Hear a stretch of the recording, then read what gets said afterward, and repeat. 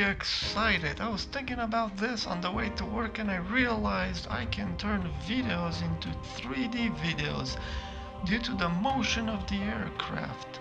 By delaying one video clip relative to itself and coloring them with different colors, red and cyan, I can have a 3D video. Have a look.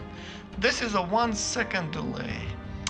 Video comes out very interesting. We get that depth and uh, it's pretty awesome. Now here's um, what a two second delay looks like.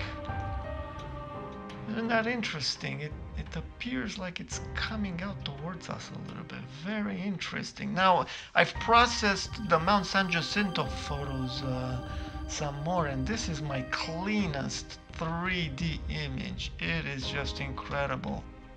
I think I'm gonna print a large poster and bring it to work, put it up in my office. That way when fellow engineers come in, I can evangelize. People are gonna think I'm nuts.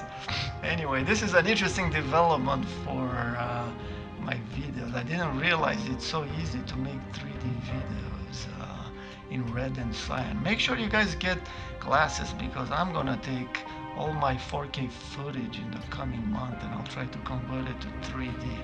Awesome stuff folks. Anyway, thanks for your support guys and watching my videos. God bless.